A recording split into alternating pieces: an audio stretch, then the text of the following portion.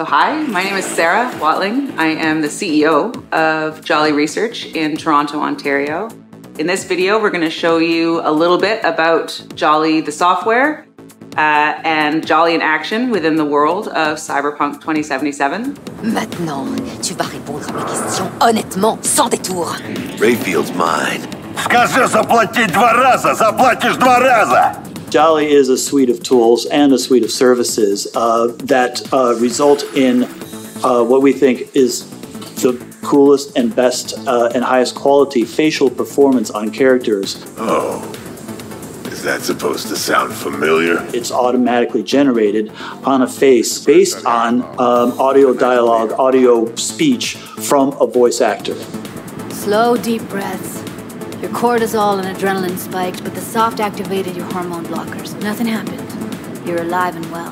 What Jali tries to do is it tries to get to the root of what is being expressed in the vocal performance and put that on a 3D character. That's Rogue. Best fixer in all of Night City. There is just an incredible amount of performance in this game. Next, sure. A procedural solution allows you to animate over and over and over again at tremendous scale. Jali is what powers every single character in the game of Cyberpunk 2077 in all of the languages that the game has been localized for. Ahora Este mierdas de es tu contacto. All you're doing is changing an attribute.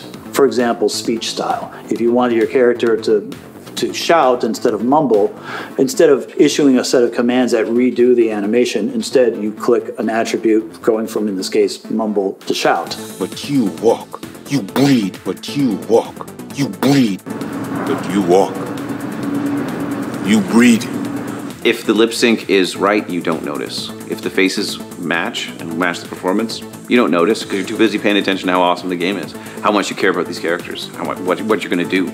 And that's what we want. That to me is, that's, that's the sizzle. Don't you know you owe the sheriff a word when you pay his town a visit? To tell him what's brought you here. Maybe even over a cup of coffee.